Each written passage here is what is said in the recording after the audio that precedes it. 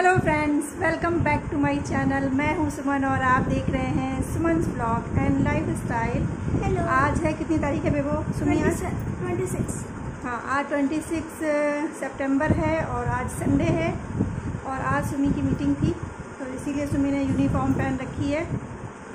इनको healthy food और junk food के बारे में बताया जा रहा था कि क्या इनको खाना चाहिए और क्या नहीं खाना चाहिए। और अभी चाट भी बनाना है और ट्यूसडे को सात बजे से साढ़े नहीं नहीं छः बजे से साढ़े सात बजे तक हाँ तो आज भी मैंने साड़ी पहन रखी है, ब्लू कलर की साड़ी है, और आज भी मैं हंकी टक कर रही हूँ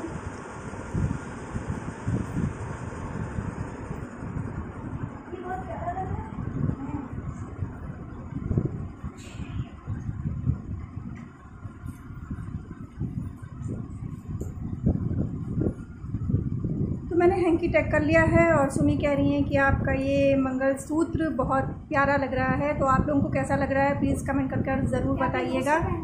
हाँ? ये दूसरा है। कल दूसरा पहना था। है? कल पहला पहना था आज दूसरा पहना तो ब्लॉग में बने रहिएगा मेरे साथ। कितने पहनती हूँ? बहुत सारे हैं मेरे पास। तो ब्लॉग में बने रहिएगा मेरे साथ। नहाने के बाद मैं छत पे आ गई थी, कपड़े फैलाने और ये वही साड़ी है जिसमें मैंने कल ब्लॉग डाला था।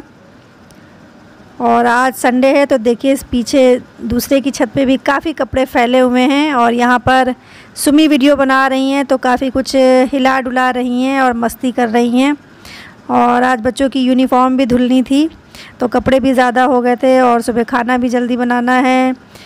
तो इसलिए फटाफट से सारे काम हो रहे हैं।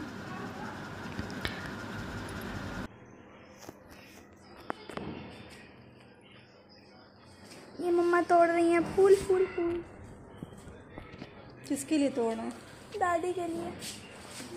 दादी को भगवान पे चढ़ाने हैं। इसलिए मम्मी तोड़ रही हैं फूल। आज मैंने घुइयाँ की सब्ज़ी बनाई है और उसके साथ पूड़ी बना रही हूँ। ये घुइयाँ जो है हमारे खेतों की है और बहुत अच्छी है। इसमें एक भी घुइयाँ ख़राब नहीं निकली है। तो ये बहुत अच्छी है। और यहाँ पे मैं पूड़ी तल रही हूँ, क्योंकि आज पापा को सुबह सुबह गाँव जाना था तो इसीलिए मेरा खाना जो है बहुत जल्दी बन गया। आगे अगर दोपहर में किसी को भूख लगेगी तो कुछ और भी बना दूँगी, लेकिन फ़िलहाल अभी इतना ही बनकर तैयार हो गया है मेरा। और यहाँ पर मैं मम्मी का खाना लगा रही हूँ, और सभी का बेबो सम्मी का भी लगा रही हूँ। मम्मी को घुइयाँ की सब्ज़ी थोड़ा सा नुकसान करती है तो उसके साथ मैं उनको पूड़ी दे दूँगी। सॉरी पूरी नहीं, दही। दही में चीनी डाल के दे दूँगी तो वो थोड़ा घुइयाँ खा लेंगी और थोड़ा दही खा लेंगी पूरी के साथ। तो उनके लिए सही रहेगा और बेबो सुमी को तो घुइयाँ की सब्ज़ी पूड़ी अच्छी लगती है और उसके साथ में उनको अचार दे दूँगी तो वो लोग भी खा लेंगी। अभी तो सबको भूख लगी है। मेरे हस्बैंड को भी घुइयाँ की सब्ज़ी पूड़ी बहुत पसंद है। इतनी शैतानी अच्छी बात नहीं है, बता रहे हैं। अच्छा? जो आप शैतानी कर रही हो वीडियो बना रही। अभी अभी मेरे सारे काम ख़त्म हो गए हैं और जो मैंने भुइया की सब्ज़ी पूड़ी बनाया था वो सबको दे दिया। और अभी चाय पीने का मन कर रहा है क्योंकि बहुत थकान सी हो गई है और आप तो जानते ही हैं कि आज संडे है तो संडे को तो और ढेर सारे काम होते हैं। कपड़े धोना बाथरूम वॉश करना और भी खाना बनाना सारी चीज़ें होती हैं। तो काफ़ी टाइम लग गया। और उसके अलावा मैंने अभी अभी एक वीडियो और भी शूट किया है नोज़ पिन का। और आप देख सकते हैं कि मैंने एक ये पहन भी रखी है तो कैसी लग रही है बताइएगा मुझे ज़रूर। और जल्दी आप तक वो वीडियो भी पहुँच जाएगा तो उसको भी ज़रूर देखिएगा। चलिए मिलते हैं आपसे थोड़ी देर में। साइकिल वाला। मम्मी मत यार। क्यों? नहीं।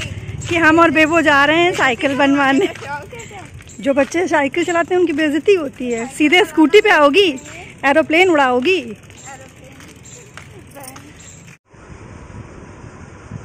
अभी भी जो है, हैंकी टक है। मैं सो गई थी, इतना थक गई थी। मैं सो गई थी और सुमी इसको देख के मांग रही है, कह रही है, मम्मी, इसके लिए तो नाक में छेद होना ज़रूरी नहीं है तो मुझे दे दो। मुझे, मैं भी एक पहनूँगी। और मैं सो गई थी। मैं दो घंटे सोई हूँ। और सभी को भूख लग रही है तो उनके लिए मैं सूजी का हलवा बनाने जा रही हूँ। चलो, आप भी मेरे साथ किचन में चलो, जल्दी से हलवा बनाते हैं। हलवा बनाते हैं। हलवा बनाते हैं। हलवा, सूजी का हलवा। वही जल्दी बन जाता है। हाँ छोड़ो, पिटोगी। ओ, सता मेरे बच्चों ने किचन को कुछ इस तरीके से फैलाया है तो ज़रा उसको मैं समेट लूँ, उसके बाद हलवा बनाऊँगी। पहले बालों को मैं सही कर लूँ।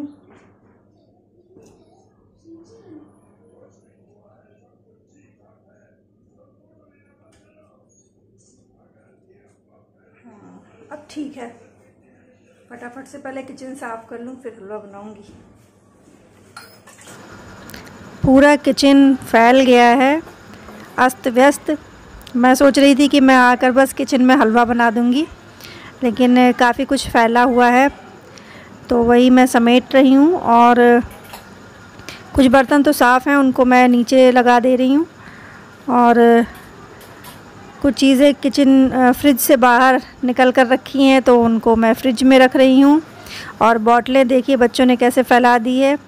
और इसमें ब्रेड थी तो ब्रेड निकाल के खाई गई है और उसका रैपर वहीं पे रख दिया गया है।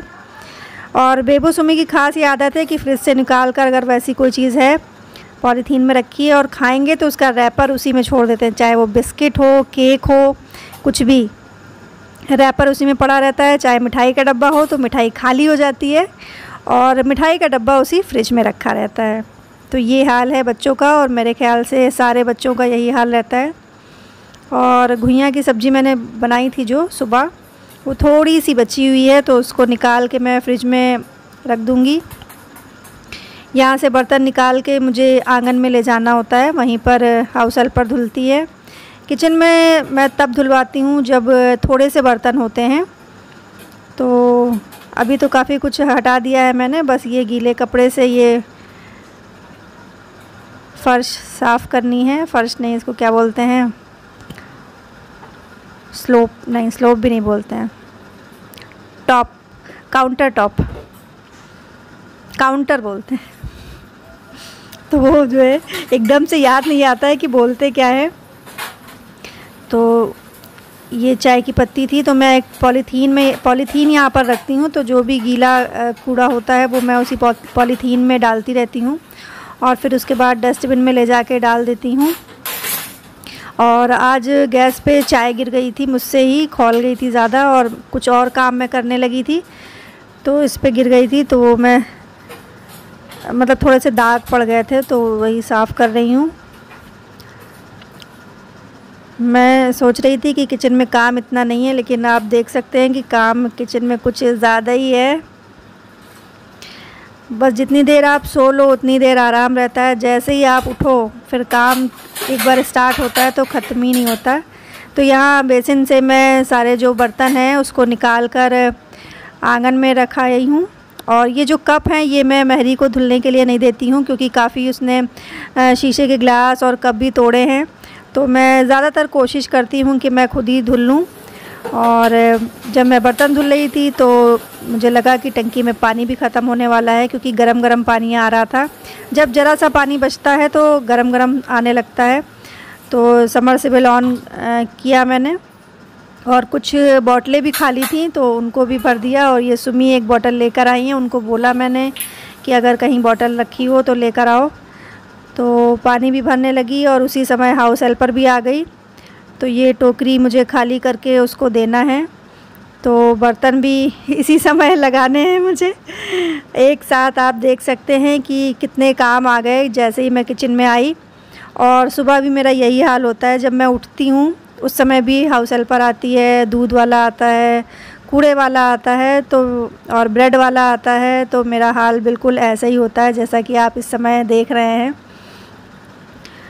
लेकिन एक साथ सारे काम हो जाते हैं तो मतलब एक साथ काम करना पड़ता है तो सांस फूलने लगती है, लेकिन फिर बाद में थोड़ा आराम भी हो जाता है। अब फाइनली मैंने कढ़ाई चढ़ाई है हलवा बनाने के लिए और सूजी जो है मैं फ्रीज़र में रखती हूँ जिससे उसमें कीड़े ना लगें। पहले मैं बाहर रखती थी तो एक अंकल ने मुझे बताया शॉपकीपर ने कि आप इसको फ्रीज़र में रखा करिए। तो सूजी, मैदा, बेसन ये सारी चीज़ें मैं फ्रीजर में रखती हूँ तो हमेशा सेफ़ रहता है, उसमें कीड़े नहीं पड़ते हैं। और आप जब मन आपका चाहे तब आप बनाइए। ऐसे तो लगता था कि कीड़े लग जाएँगे, पहले से सारा भून के रखो, लेकिन अब ऐसा कोई दिक्कत नहीं है।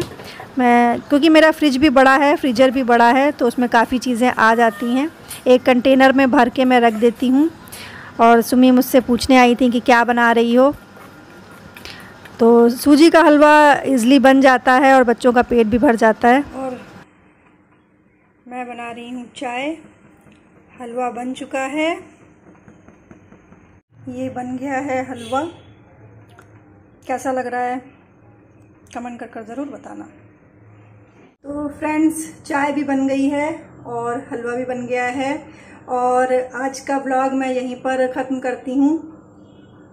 आप लोगों को ब्लॉग कैसा लगा please do like share and comment and subscribe my YouTube channel Suman blog and lifestyle मिलते हैं आपसे नेक्स्ट वीडियो में। पसीना बहुत हो रहा है। तब तक के लिए बाय मिलते हैं कल। कल ज़रूर मिलेंगे आपसे। Bye bye